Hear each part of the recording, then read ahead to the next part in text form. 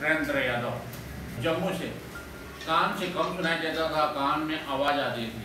ये लगभग 2016 से मेरी प्रॉब्लम मैं डॉक्टर से तो मैं बहुत दिखाया था। लेकिन ये कोरोना के समय में कि दिल्ली आना जाना प्रॉब्लम हो गई मेरे को। मैं दो साल से गया नहीं। इसी में अपना इलाज सही ढंग से करा नहीं पाया। नहीं, शुरू में मेरे को इलाज करा रहे थे उस समय एट्टी परसेंट मेरे को काम से सफलता मिली थी। लेकिन बीच में मेरे को प्रॉब्लम को दवा ना खाने को मेरे प्रॉब्लम ज़्यादा पड़ गई ना सुना जाए तो प्रॉब्लम क्या, मान लीजिए कि जब कान से सुना ही नहीं देगा सर तो बहुत सारे प्रॉब्लम होगा शरीर में।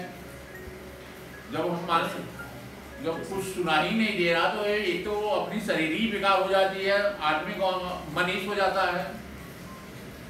अच्छी खासी शरीर किसी की आवाज़ न सुनने में अपने को उदासीन लगता है। इंद्रावती ये अरे सुनता मेरे को बहुत दिक्कत होता है सर। में देखिए हम रहते हैं बुलाते हैं नहीं सुनते तो मेरे बहुत दुख होता है। हाँ जी ठीक है? ठीक है ना बढ़िया लगा। अच्छा लग रहा है। जब मैं आपके पास आया आप मेरे को किसी चीज़ को याद लाने के कान में बोल रहे थे मेरे को सुनाई देने में असमर्थ था। सही तरीके से सुन नहीं पा रहा था।